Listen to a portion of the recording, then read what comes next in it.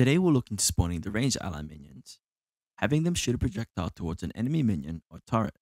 The first three minions we'll spawn will be melee, and the next three will be ranged. If you guys just want the project, you can go to my Patreon and get it there alongside the two MOBA series project files.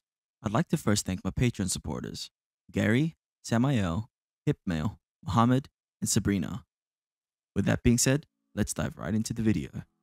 Starting off, there are quite a few changes I've added, like calling the minion Melee Minion Prefab, and having the minion combat script set to minion melee combat. You don't have to do these changes, but I do it just so it doesn't confuse me. I duplicated the same prefab minion and called it ranged minion. To tell the difference, I added a small white cube to be the nozzle for when it shoots a projectile. I've also added an empty game object as our spawn point for the projectile. We'll pretty much have the same scripts and components as the melee minion prefab, but instead of the melee combat script, we'll have its own range combat script. We'll get into this later on. Opening up the Visual Studio and looking to the minion AI script, we're going to add a method called face target. What this will do, if you're familiar with the MOBA character series, whichever the minion is targeting, whether it be another minion or a tower, will always have the origin facing that direction. The next script we'll make changes on is the minion spawner script.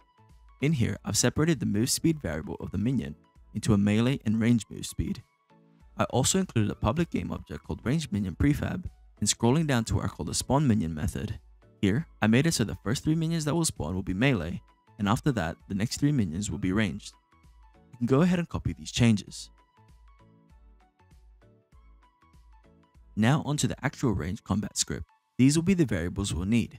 A public game object called projectile prefab, a public transform to the projectile spawn point, the floats to the attack range, attack speed, attack cooldown, and the last attack time, a private bool called is attacking, and the script variables for the stats and minion AI script.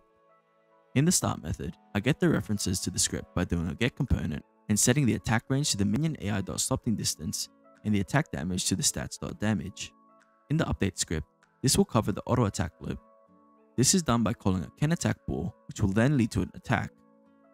In the can attack bool, it's setting the attack to true and false based on if they are within the range of the target. And if they are, it will call the attack method. In this method, it will spawn a projectile prefab, and in that prefab, it will also have a script called minion range projectile. We'll be using that script to set the target and deal damage. Back in Unity, I've duplicated the projectile prefab from the tower, changed its color to blue, and created a script called minion range projectile. Opening it in Visual Studio, the variables we need are a private game object called target, a private float called damage, and a public float called speed. I have a public void called setTarget which will store the game object and a float, which will represent the target and the attack damage. Moving down to the update method, this will handle the projectile flying towards the targeted game object that we've set in the combat script.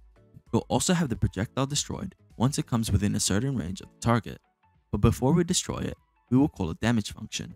Scrolling down to the damage target, it's similar to what we did with the melee. The target is either an enemy minion or turret, we'll get the stats on the target and minus its health based on the damage we put on our ally minion.